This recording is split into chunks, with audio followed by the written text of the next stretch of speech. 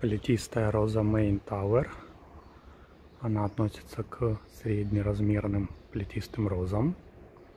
Этому кусту третий год. Он набрал высоту 2,5 метра. И еще цветение у него не на всех побегах. То есть вот молодой побег еще только готовит бутоны. В основном у нас сосредоточено на верхушках, поэтому его формировать надо каскадом, если вы хотите получить цветение по всей длине. Тут он стоит посаженный в самом конце палисадника, поэтому цветение оставляется только верхней части куста. Нижняя будет не видно. А, сорт обладает цветками морковно-красного цвета. Сейчас давайте на них посмотрим более приближенно. Так, мы подобрались ближе к этому замечательному сорту. Значит, смотрите, вот такие цветки имеют вид в начале распуска. Самая настоящая классика. Спиралевидная закрутка цветка.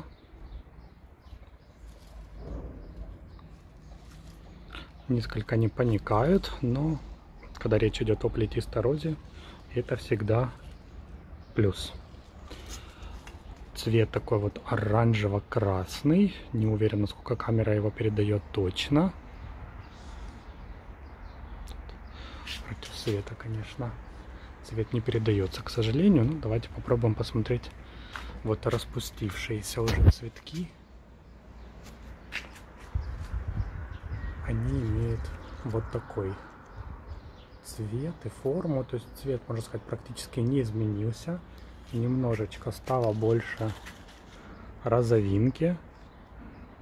Цветы крупные, порядка 8-10 сантиметров.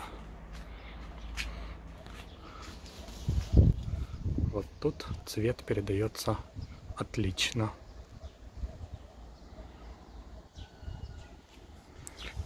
Сорт нарастает не очень быстро и занимать будет размеры не сильно большие. То есть его высота будет до 3 метров,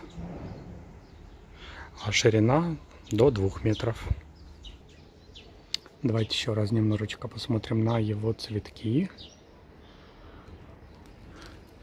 Вот смотрите, много новых веток, которые только готовят бутоны. То есть прелесть этого сорта в том, что цветение не максимально обильное, но практически беспрерывное. Листва имеет молодая, такой бордово-багряный оттенок.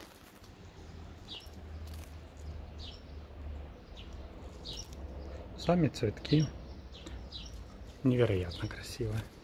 То есть этот сорт розы нужно предпочесть тем, кто ищет яркую, такую эффектную розу для небольшой арки, опоры или заднего плана.